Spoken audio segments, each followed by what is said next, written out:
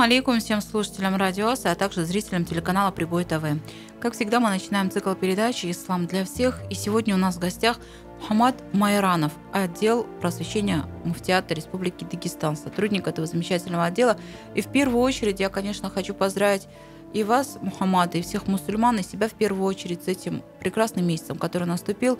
Один из э, наиболее значимых месяцев мусульманского календаря – это Рабиуль Аваль, месяц, в котором родился родилось лучшее творение, пророк, э, лучшее творение Всевышнего Аллаха, любимец наш, пророк Мухаммад, саллиллаху алейхи вассалям. И э, также, конечно, выражаем вам благодарность, что нашли время, пришли и посетили нас. И э, о достоинствах, наверное, месяца это будет первый вопрос. И хотелось бы послушать, и хотелось бы, чтобы слушатели э, послушали, почувствовали и э, приняли вот эту важность и значимость этого прекрасного месяца. بسم الله الرحمن الرحيم الحمد لله والصلاة والسلام على رسوله محمد وعلى آله وأصحابه أجمعين Баркала вам за поздравления. Я тоже, в свою очередь, хочу присоединиться к поздравлениям и поздравить от себя э, всех э, жителей нашей республики, всех мусульман всего мира с этим благословенным месяцем, месяцем рождения любимого пророка Мухаммада, саллиллаху алейhi и прошу Всевышнего Аллаха, чтобы в этом месяце мы еще больше полюбили пророка, саллиллаху алейhi еще больше оживили сунну посланника Аллаха, алейхиссалату вассалям, еще больше к нему приблизились и почаще его вспоминали. Говоря о достоинстве месяца Рабиль Ауаль, одним из основных достоинств, особенностью этого месяца является, как мы уже сказали, это рождение самого любимого создания Всевышнего Аллаха, это пророка Мухаммада, саллиллаху алейhi Он родился в 12 день этого месяца, месяца Рабиль Ауаль. И нам также желательно выделить этот месяц, сделать его особенным в нашем сердце, особенным в нашей семье для своих детей, э, чтобы, прояви, чтобы проявлялась с самого детства у наших детей любовь к посланнику Аллаха, саллиллаху алейhi Мы знаем, сколько бы благих деяний мы не совершали, э, сколько бы мы намазов в день не совершали, садака, посты, хадж и так далее, и так далее, если у нас не будет полноценной любви к пророку, саллиллаху алейhi а это не просто любовь, это э, любить больше, чем самого себя и все, что у тебя есть. Если такой любви у нас не будет к пророку, саллиллаху алейhi наш иман, наша вера не будет полноценной вообще. То есть Аллах Всевышний обязал нас это и связал любовь к пророку с любовью к самому себе, ко Всевышнему Аллаху. Невозможно любить Аллаха, но не любить пророка, или же наоборот. Это является обязанностью каждого мусульманина, мы должны к этому стремиться. И, конечно же, если мы не будем изучать жизнь посланника Аллаха, а далее уже соблюдать э, все, что соблюдал посланник Аллаха, все, что, к чему призывал наш пророк, алейхиссалату вассалям, тогда у нас любовь в сердце не появится. И сколько бы мы ни говорили, что мы его любим, но не будет эта любовь истинной любовью. Э, поэтому нам необходимо знать, каким был посланник Аллаха, саллиллаху алейhi знать, как он жил, как он поступал в той или иной ситуации, к чему он призывал. Э, и вот посредством этих знаний э, мы можем практиковать жизнь, соблюдать. Аллах Всевышний в Коране говорит, Бисмиллахи рахмани рахим, «Лакад кана лакум фи расулиллахи усватун хасана». Пророке Мухаммаде, саллаллаху алейhi для вас самый лучший пример для подражания. Что мы в любой жизненной ситуации брали с него пример. И тогда, иншаллах, у нас и будет увеличиваться, укрепляться в нашем сердце любовь посланнику Аллаха, саллиллаху алейхи вассалям. Я с вами полностью согласна. Вот вы сказали такое, э, такое предложение, что начиная, э, нужно изучать жизнь посланника Аллаха, саллиллаху вассалям, для того, чтобы его полноценно полюбить. Я думаю, те люди, которые начнут читать, изучать, узнавать, слушать, да, такие передачи, как у нас, они не смогут остаться равнодушными, потому что это был особенно удивительный человек. И каждый раз год от э, год из года, э, пока я веду эту передачу и слушаю, я открываю что-то новое для себя. Пусть люди не думают о том, что они все знают. Каждый раз открывается что-то новое, и с каждым годом, когда мы взрослеем, мы на что-то смотрим уже по-другому. И поэтому, я думаю, вместе со всеми слушателями и зрителями я с огромной радостью буду далее тоже слушать и узнавать, наверное, что-то новое, открывать что-то новое для себя. Иншаллах. Для человека Э, настолько это важно, настолько это входит в его обязанности, что говорится в книгах, пишется, что пока мы даже своих детей не начнем обучать шахаде, словам «Ашхаду алля илях илlallah, ашхаду анна Мухаммадан Расулуллах», то, что человека вообще приводит ислам, то, что человека делает мусульманином, перед обучением этой фразы мы должны обучить своего ребенка, кто такой Мухаммад. Потому что если человек вначале э, не, не расскажет о пророке Мухаммаде, саллиллаху алейhi и начнет сразу изучать, обучать своего ребенка шахаде, и там он дойдет до слов «Ва ашхаду анна Мухаммадан Расулуллах». Но сегодня Мухаммада много. И ребенок может подумать, это его сосед э, э Мухаммад, да, или его товарищ, или его двоюродный брат Мухаммад. Нужно дать понять, кто это тот Мухаммад, кто является посланником Аллаха, что это тот человек, которого Аллах выбрал, сделал самым любимым творением. Э, он родился в Мекке, в 40 лет он получил откровение, чтобы э, он знал, что он переселился в Медину, что он там и похоронен, что это тот самый любимый избранник э, Всевышнего Аллаха Азаваджалля. И затем, когда уже ребенок будет знать, кто такой Мухаммад, саллиллаху алейhi затем уже нужно его обучать шахаде, чтобы он свидетельствовал э, и понимал, что он говорит, что он свидетельствует, что нет другого божества, кроме Аллаха. И тот самый пророк Мухаммад, о котором ему рассказывали родители, является посланником Всевышнего Аллаха. Настолько это первостепенно.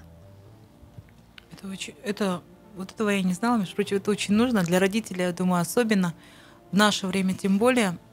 И до этого за эфиром мы также говорили от, э, о значимости, о важности э, любви к пророку Мухаммаду, саллиллаху Также э, можно, наверное, судить из слов, которые вы тоже сказали. Нужно любить больше, чем все, что у вас есть, больше, чем родители, больше, чем детей.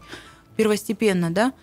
И это уже говорит о том, что любовь должна быть искренняя, безграничная и немного, если мы успеваем, если есть такая возможность, может, мы расскажем именно о таких э, качествах, которые его выделяли среди других. Э, хотелось бы, прежде чем ответить на ваш вопрос, сказать, вот мы Э, часто, так как ему, именно ему и посвящена наша тема, часто будем произносить имя нашего пророка Мухаммада, салям, говорить слово пророк, слово посланник, говорить имя Мухаммад. И хотелось бы напомнить, э, что очень желательно будет нам, после, э, после того, как каждый раз мы слышим или где-то читаем имя нашего пророка, саллиллаху алейhi произносили на него салават. Потому что это, за это мы получаем огромное вознаграждение. Иншалла, в следующих передачах, я надеюсь, мы и Иншалла. затронем эту тему, тему салавата на пророка, саллиллаху и это будет неуважением э, к пророку с нашей стороны, не, не благословлять его, когда мы его слышим. Поэтому всякий раз, когда мы слышим где-либо, э, видим, как произносит человек, или где-либо читаем, нам желательно говорить, саллиллаху алейхи вассалям, или алейхи саляту вассалям, э, благословить пророка, саллиллаху алейхи вассалям.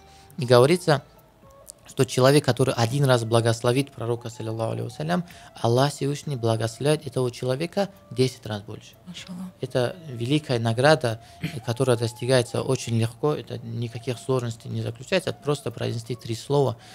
Говоря о любви к пророку Мухаммаду, алейhi много можно говорить, можно говорить, как сильно нашего пророка, саллиллаху любили его сподвижники, чтобы мы знали, как это любить посланника Аллаха, в чем это проявлялось у наших сподвижников, у пророка, алейхиссалату Хочу рассказать э, одну из э, самых любимых для меня историй из жизни пророка, алейхиссалату э, если бы точнее, это из жизни дочери посланника Аллаха, дочери Фатимы, радиаллаху анха. Однажды э, четвертый праведный халиф, э, сподвижник пророка Али, да будет им доволен Всевышний Аллах, пришел э, свататься к дочери посланника Аллаха.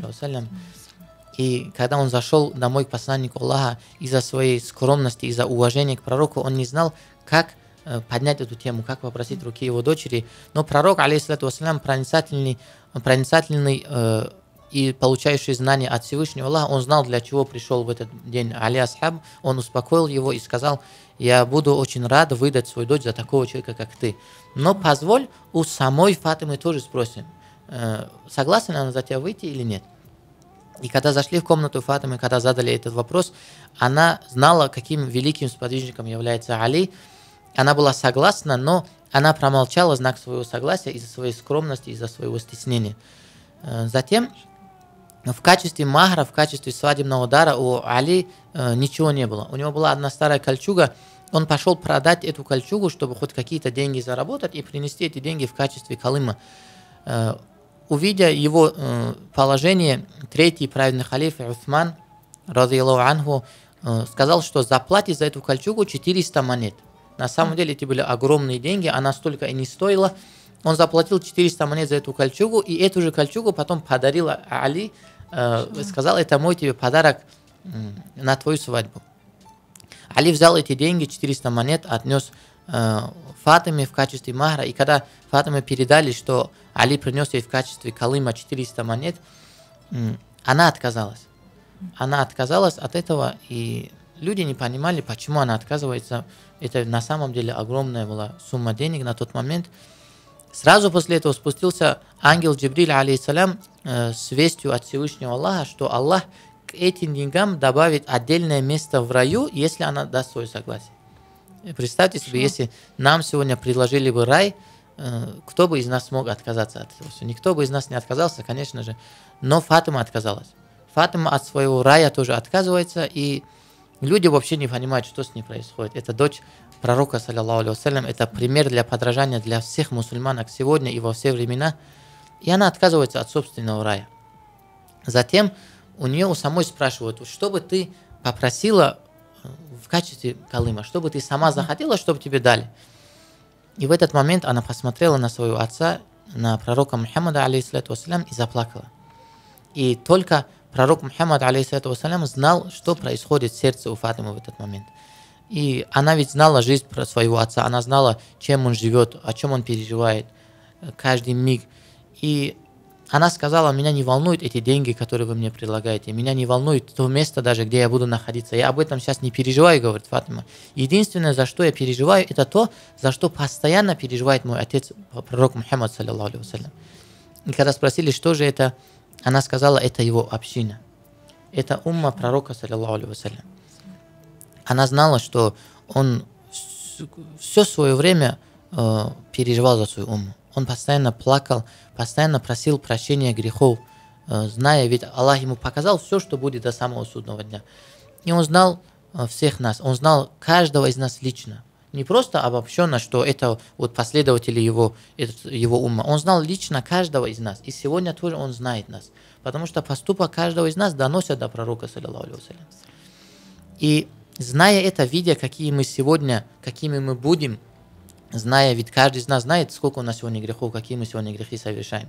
Зная все это, пророк знал наши грехи, но от нас не отворачивался, зная эти грехи. Он все равно знал, что мы будем такие слабые. Он просил, чтобы Аллах нас простил. Он просил, чтобы Аллах дал нам какое-то снисхождение, э, дал нам больше ниаматов.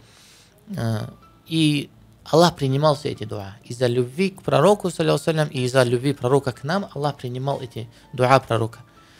И Фатима говорит, если Всевышний Аллах даст возможность моему отцу в судный день заступаться за этих грешных мусульман, за которых он так сильно переживает, за которых он так сильно любит, вот пускай это будет моим свадебным махром, говорит, пускай это будет моим свадебным даром, на это я согласна, говорит Фатима, После этого, после ее мудрого ответа, э, ей было обещано и место в раю, которое Аллах ей обещал. И те деньги она получила в качестве махра. И э, самое главное, что она просила, из рая э, был неспослан райский, э, райская бумага, райский свиток, на котором райскими чернилами было написан этот договор, то, что Аллах даст возможность пророку, саллиллаху алейhi заступаться за свою уму в судный день.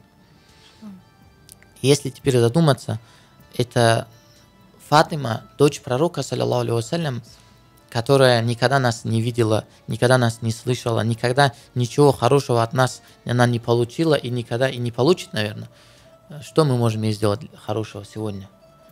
Но несмотря на все это, она отказывается от своего рая и э, просит заступничества нас, чтобы мы в судный день не пропали, чтобы пророк мог заступаться за нас. Если просто задуматься, э, насколько это великая любовь, любить человека, которого ты никогда не видел, которого тебе никогда ничего хорошего не сделал, ты любишь его просто так, за то, что пророк сильно его любил, за то, что пророк переживал за этих людей, и настолько сильно, что ты готов отказаться от своего рая, чтобы этому человеку было хорошо на том свете. Этой одной истории достаточно понять, насколько сильно нас любили эти люди. насколько сильно они за нас переживали. И если спросить теперь себя, не то, что я не хочу даже спрашивать, любим ли мы Фатиму, я просто хочу спросить, знаем ли мы вообще, кем она была, что мы вообще о ней знаем. Мы практически ничего не знаем, практически мы не изучаем жизнь этих людей. И вот зная, что мы вот такие, какие мы есть сегодня, все равно они нас не оставляли, все равно они за нас переживали, все равно они просили за нас.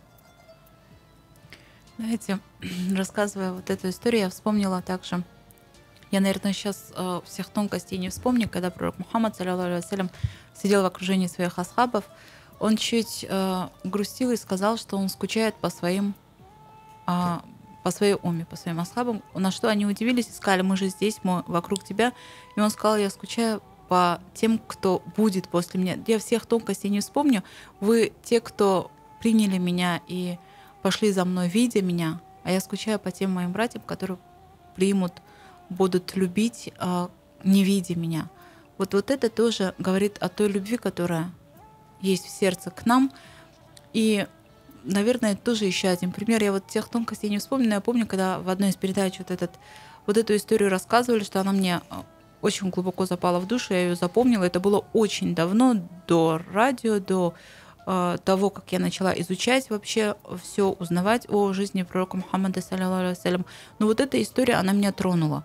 И я думаю, таких историй очень много. И мы можем не одну передачу о них говорить, мы просто должны вот это принять, как вы ранее сказали, а, всю ту любовь, которая есть к нам. Если хотя бы такая же отдача будет, я думаю, это будет колоссальная любовь. Любить э, пророка, алейхиссалату вассалям, и его семью, его сподвижников, так же, как они нас любили, мы, наверное, никогда, никогда не, сможем. сможем. Хотя бы, чтобы долю этой любви мы тоже почувствовали, нам нужно постараться э, хоть, ну, посредством изучения, как мы уже сказали, посредством соблюдения всего, что они нам оставили, может быть, у нас появится эта любовь. Иншаллах. Сейчас у нас небольшой э, перерыв, у нас будет маленькая реклама, после которой мы вернемся. Оставайтесь с нами.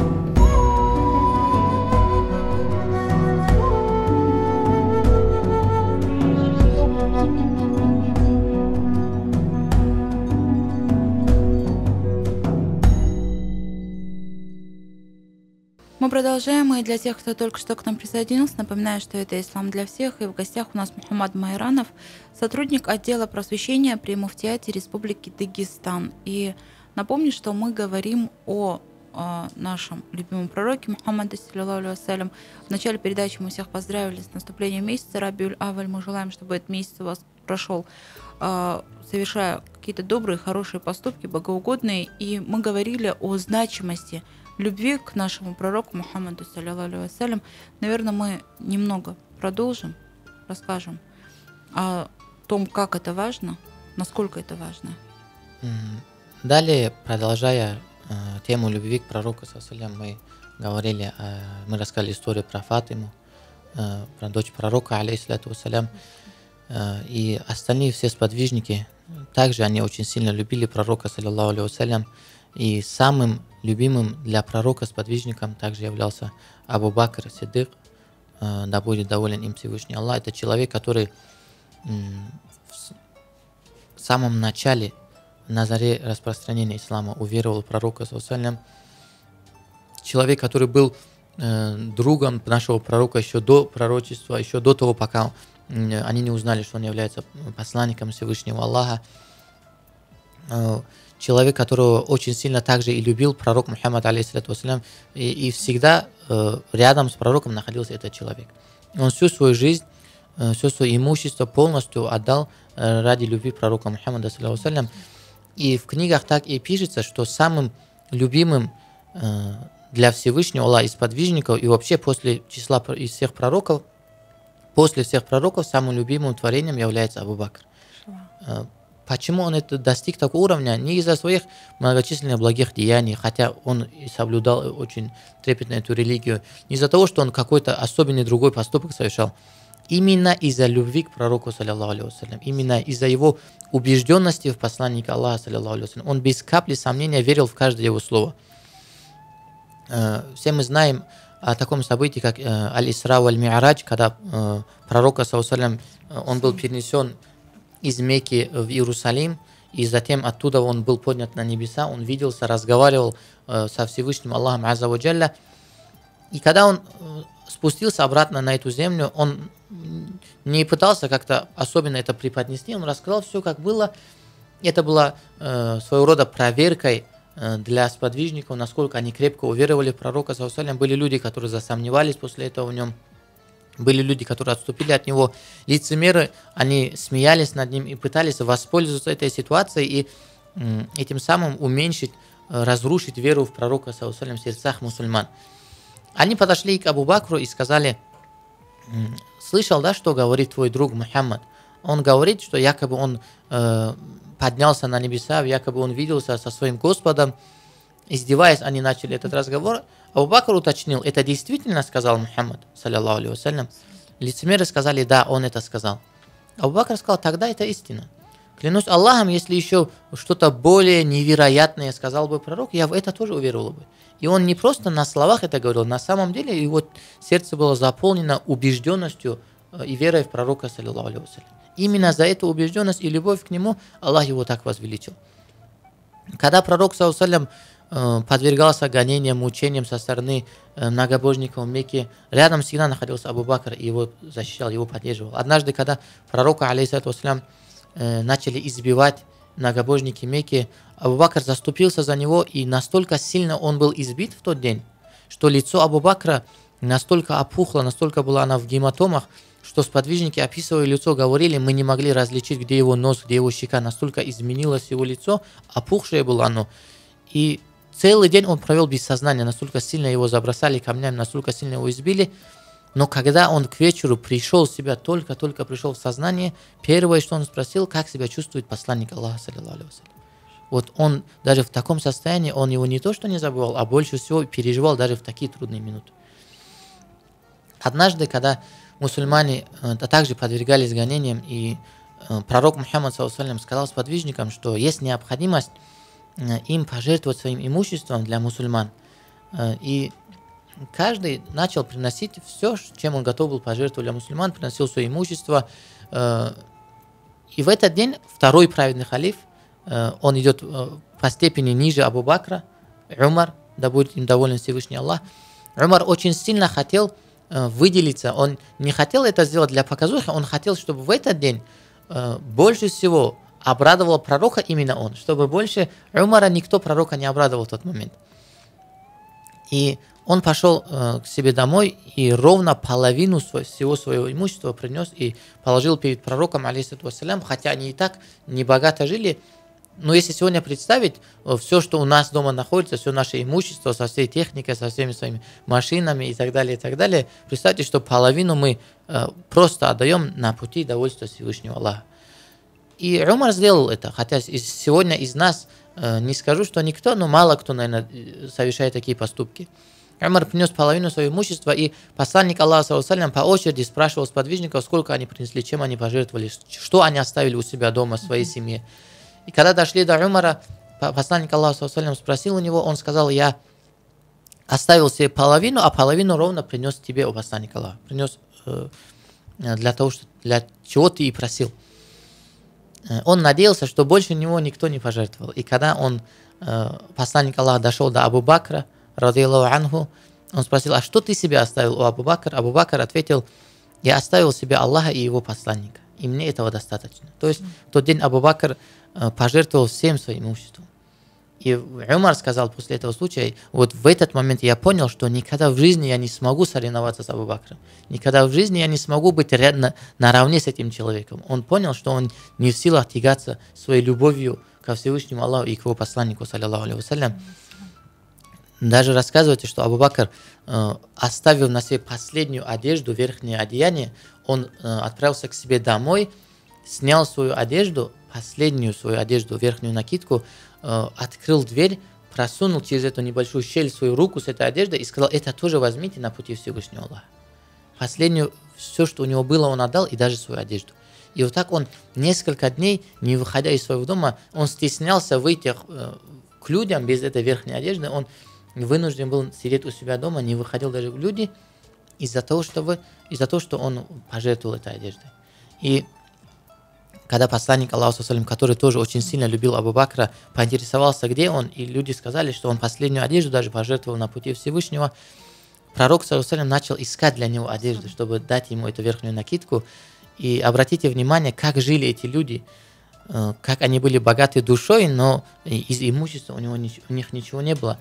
Пророк, саллиллаху алейhi отправился каждой своей жене и спрашивал, есть ли у них дома какая-либо ткань, которую можно дать Абу Бакру в качестве верхней одежды.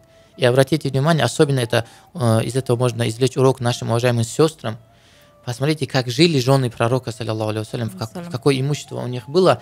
У них ни у одной дома не нашлось обычного куска материи, чтобы дать эту ткань Абу Бакру, сделать из нее какую-то верхнюю одежду. Они не нашли ничего. Они сказали, о посланник Аллаха, у нас нету, э, чтобы мы могли дать Абу Бакру. У них реально не было даже куска ткани дома, чтобы одеть Абу Бакр. Затем, когда он подошел к своей дочери Фатиме, радиаллаху анха, спросил, она также ответила, что нету, но затем она вспомнила, что когда она выходила замуж в качестве э, подарка, который дал э, э, ей ее отец, пророк, была одна накидка была верхняя накидка, на которой было, если не ошибаюсь, около 12 латок. Она была уже состаренная, порванная, изношенная. И эту накидку она нашла, чтобы отдать Абу Бакру. И когда она отправила эту накидку Абу Бакру, Абу Бакр одел ее, а в некоторых версиях э, этой истории говорится, что это была даже не накидка, а э, что-то вроде циновки, что-то вроде ковра, который у нас сегодня дома бывает, mm-hmm. тоненький ковер, который стелят люди на пол или вешают на стену. Вот этот ковер он на, надел на себя, накинул и перевязал края это, этого ковра веревкой, чтобы она держалась или э, хоть какую-то одежду, верхнюю одежду из себя она представляла. И наконец-то Абу Бакр в, в этой одежде смог выбраться из своего дома. Он отправился к пророку, он был безумно рад. Э, он даже капельки не проявил недовольства тем, что он находится в таком, вынужден находиться в таком тяжелом положении. Он не считал это положение тяжелым, он был счастлив из-за любви к пророку, саллиллаху Хотя мы знаем, что Абу Бакр был состоятельным человеком. Да, он все свое имущество потратил Пожертвовал. Э, ради пророка. Он э, также, одним из поступков было его то, что он выкупал э, рабов, которые приняли ислам, и освобождал их на волю. И вот Абу Бакр сел в кругу сподвижников вместе с пророком, саллиллаху алейhi В этот момент спускается ангел Джибриль, и говорит, э, о Мухаммад, что это с одеждой Абу Бакра? Э, пророк Мухаммад рассказывает то, что Абу Бакр пожертвовал всем своим имуществом э, на пути Всевышнего Аллаха. И Джибриль говорит, передай Абу Бакру, что из-за любви к нему и почтению все ангелы на небе оделись в такую же одежду, как, в которой находится в данный момент Абу Бакр. И далее обратите внимание, что говорит Джибриль. Он говорит, Аллах Всевышний передает салам Абу Бакру. Представьте себе, сам Аллах передает персонально, лично салам Абу Бакру. И говорит, Аллах спрашивает, Аллах говорит, что Аллах доволен Абу Бакром. И спрашивает Абу Бакра, доволен ли он Всевышним Аллахом. За то, что Аллах ему предписал такую судьбу. И Абу Бакр тут же заплакал и сказал, как я могу быть недоволен своим Создателем. И три раза повторил, клянусь Аллахом, я доволен Всевышним. И настолько вот сильно любил Абу Бакр, даже когда пророк Мухаммад, алейхиссалату вассалям, э, покидал этот мир, перед смертью он боялся навредить сподвижникам, боялся сделать больно их сердцу. Он знал, что новость о его смерти, приближающейся, сделает больно для сердец сподвижников. И он намекнул, он сказал, Всевышний Аллах предложил своему рабу остаться здесь или же встретиться с Аллахом. И раб выбрал встречу с Аллахом. И люди не понимали, что за раб, что за встреча с Аллахом. И только Абу Бакр, проницательный Абу Бакр, понял, что пророк имеет в виду самого себя. Он понял, что пророк выбрал встречу с Аллахом, что приблизились к концу дней пророка, саллиллаху алейhi его глаза тут же наполнились слезами, и он вскочил, крикнул, повышая свой голос, он не выдержал и начал кричать «Би аби ва умия Расуляллах! Би аби ва умия Расуляллах!» Что означает – да будут мои родители выкупом за тебя, у посланника Аллаха. То есть он готов был расстаться со своими родителями, чтобы пророк остался еще немного с ними. И он начал кричать, и сподвижники не поняли, почему он кричит, и начали ругать Абу Бакра. Как ты смеешь повышать голос, Абу Бакр? как ты смеешь повышать голос на пророка, саллиллаху алейhi И в этот момент пророк заступился за Абу Бакра и сказал, оставьте его. Клянусь Аллахом, из вас нету ни одного человека, который сделал мне какое-то благо, и я ему не ответил тем же самым, я ему не возместил. Нету такого человека. Я всем вам возместил за ваше благо, которое вы мне делали. Кроме Абу Бакра, говорит пророк. Поистине, я не в силах возместить Абу Бакру за все то благо, которое он мне сделал. Ему только Аллах сможет возместить это в судный день. Только Аллах ему за это все возместит. Настолько он был э, возвышен перед Всевышним Аллахом, но как бы сильно Абу Бакр не просил, чтобы пророк остался вместе с ними, но предписание Аллаха было таково, что э, в возрасте 63 лет посланник Аллаха покинул этот мир, и когда он покидал этот мир, э, сподвижники не знали вообще, что делать в этот момент. Они видели себя без своих родителей, они могли даже представить себя без своих детей, без своей семьи, но представить вот эта мысль о том, что когда-то им придется находиться без пророка, саллаллаху они это представить себе даже не могли. Они не могли представить, что когда-нибудь пророка, саллаллаху не станет, не будет рядом с ними. Когда Али Асхаб, зять пророка, саллаллаху когда он услышал эту новость, он несколько раз терял сознание, приходил в себя, спрашивал, это действительно случилось? И когда говорили да, он опять терял сознание. И вот так несколько раз он не мог прийти в себя. Затем, когда он немного успокоился, он сказал, о Аллах, ты дал мне эти органы, ты дал мне эти глаза, которыми я смотрел на пророка, ты дал мне эти уши, которыми я слушал пророка. И вот все это перечисляя, он связывал с пророком, он видел все эти блага Аллаха, только связанные с пророком. А теперь он говорит, для чего все мне это нужно? Он потерял смысл этой жизни после смерти пророка. Другие сподвижники, Фатима, которая единственная из детей пророка, которая пережила пророка, саллиллаху она сказала, о Аллах, лучше бы ты меня забрал намного раньше, чем встретиться с этим, с этим моментом, с этой болью, столкнуться по потере своего отца.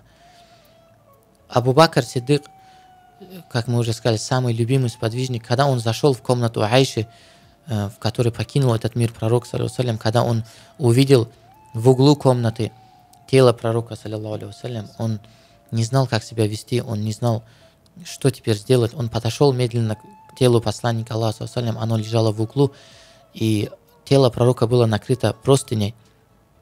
Он хотел попрощаться с пророком, он э, опустился к нему, он э, поднял эту простыню, он увидел лучезарное лицо пророка Мухаммада, и обнял его очень сильно, и он прижал его к себе и не хотел отпускать больше. Он очень сильно плакал, это был самый тяжелый момент жизни Абу Бакра.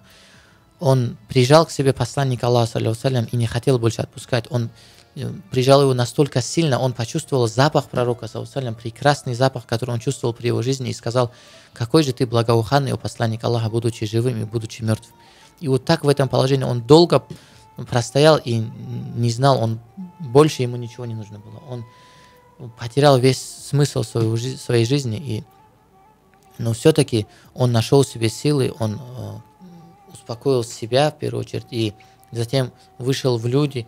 Э, сподвижник Умар, он очень сильно гневался, он не мог смириться с этой новостью, он не мог ее принять сердцем, он говорил, что он будет драться, он будет бить каждого, кто скажет, что умер пророк Мухаммад. Настолько он был не в себе в этот момент, но Абу Бакр вышел в люди, успокоил и сказал, что тот, кто поклонялся Мухаммаду пускай знает, что Мухаммад покинул этот мир, а тот, кто поклонялся Всевышнему Аллаху, то Всевышний Аллах вечно живой, он не умирающий.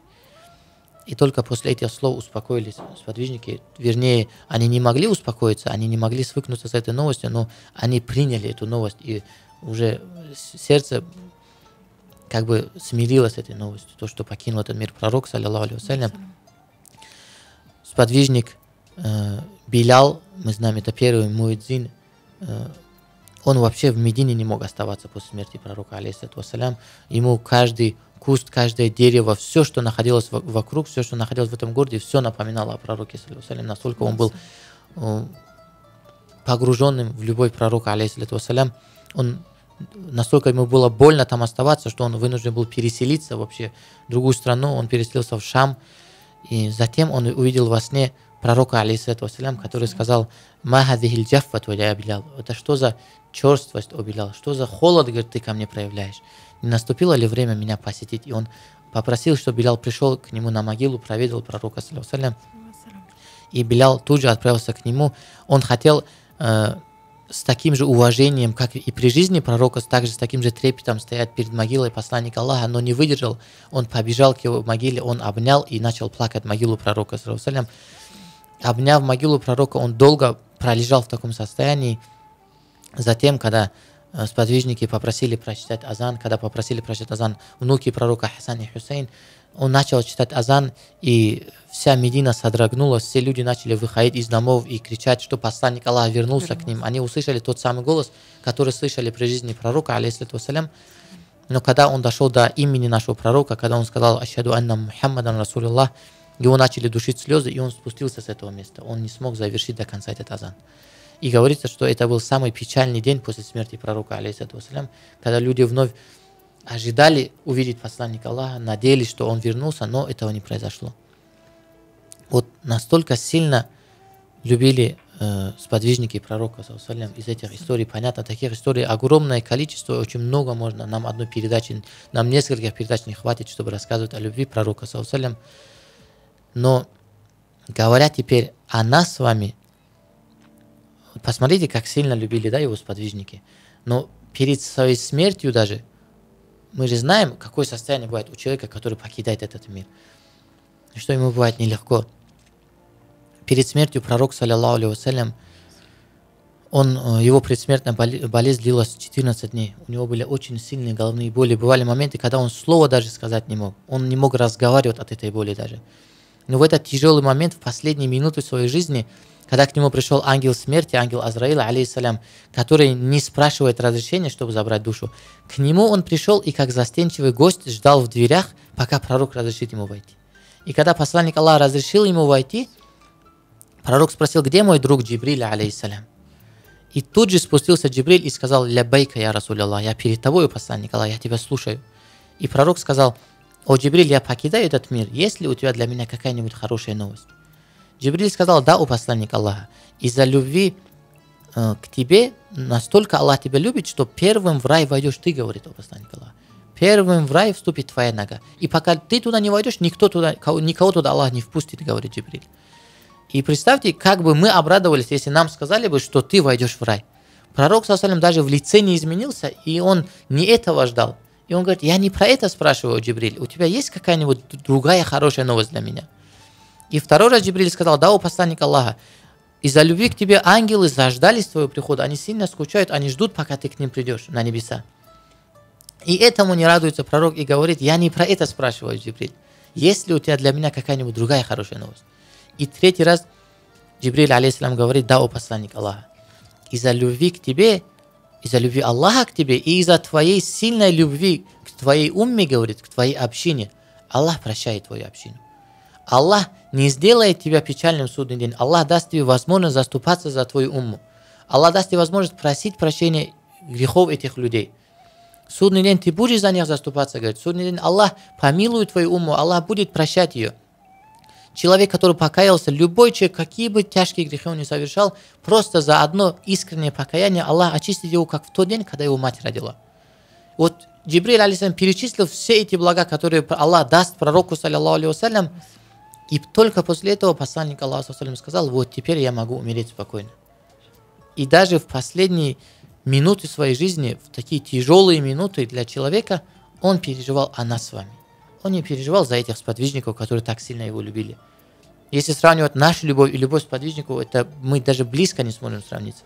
Но он не переживает за своих сподвижников, он не переживает за своих детей, он ни за кого так сильно не переживал, кроме как за нас как он сказал, за своих братьев, за людей, братьев и сестер, которые не увидят пророка, алейхиссалату но в него уверуют. Настолько сильно нас любил пророк, салям. Пока нас не было еще на этом свете, он за нас просил, за нас переживал, за нас проливал слезы. И сегодня тоже он, видя наши поступки, поступки каждого из мусульман, сегодня доносят до пророка, он видит эти поступки. И сегодня тоже он просит прощения за наши грехи, которые мы сегодня совершаем. И перед смертью он за нас просил, и в судный день в это тяжелое время, когда для каждого из нас наступит, когда даже пророки другие будут переживать только за себя, когда каждый из них будет говорить «Я на все, я на все, о я, о моя душа», Каждый из нас не сможет переживать за своих родителей, за своих детей. Только о себе мы будем переживать. Сердце будет наполнено страхом. И только пророк Мухаммад саллиллаху из всего человечества с таким же страхом, с таким же переживанием, только уже не за себя, а за всех нас будет говорить «О моя умма, о моя умма» и будет просить за нас заступничество. И уже подводя итоги, у нас время подходит к концу. Я надеюсь, что наша передача принесет пользу. Мне было очень интересно, я выражаю огромную благодарность. Надеюсь, иншалла, мы и продолжим весь этот месяц говорить о любимом пророке Мухаммаде, саллиллаху алейhi И, конечно, я хочу пожелать себе, вам и всем мусульманам в первую очередь заступничества нашего пророка Мухаммада, саллиллаху чтобы мы были достойны этого заступничества, и чтобы наши сердца были наполнены любовью к Всевышнему Аллаху и, конечно, к любимцу Аллаха, пророку Мухаммаду, саллиллаху вам огромное спасибо. Это была программа «Ислам для всех». Э, Мухаммад, я надеюсь, в следующей передаче тоже нам удастся с вами встретиться и далее продолжить. Напоминаю, что для вас работали Бека Стамбулова и Мухаммад Майранов, а, сотрудник отдела просвещения при Муфтиате Республики Дагестан. Ассаламу алейкум.